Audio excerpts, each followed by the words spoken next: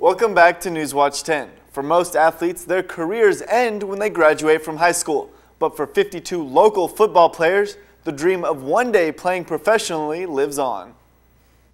You know the University of Georgia Bulldogs. Now it's time to meet the North Georgia Bulldogs. They're the local minor league professional football team based out of Gordon County.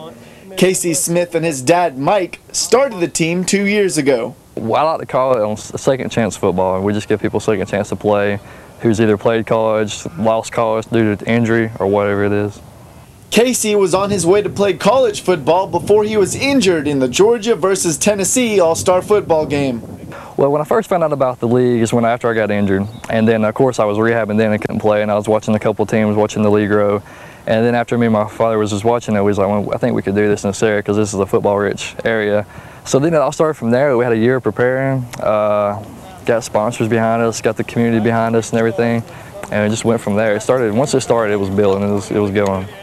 2007 was the Bulldogs' first year competing in the Southern Football League, a 14-team organization with teams in Alabama, Georgia, and both Carolinas. North Georgia finished second in the league at 9 and 3, boasting the top offense and the second-ranked defense. Alan Lackey played quarterback last season. He says they're not the most talented team, but their bond makes up for it.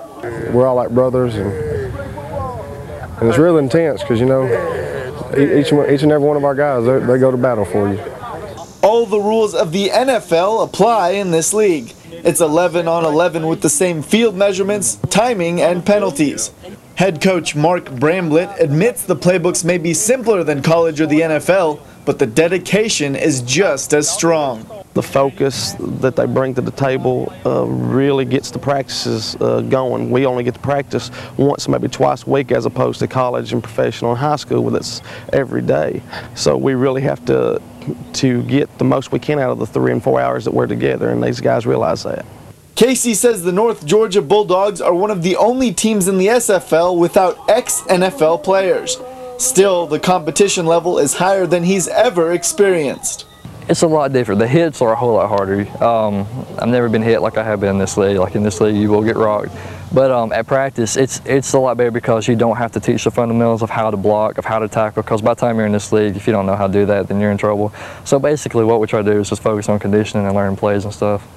The player's experience ranges from high school to college, and a few once got paid to play. These guys don't make any money, but Smith says that's not why he's involved. What I enjoy most, honestly, is seeing people get a second chance to play because like me, when I got injured, I thought my football career was done.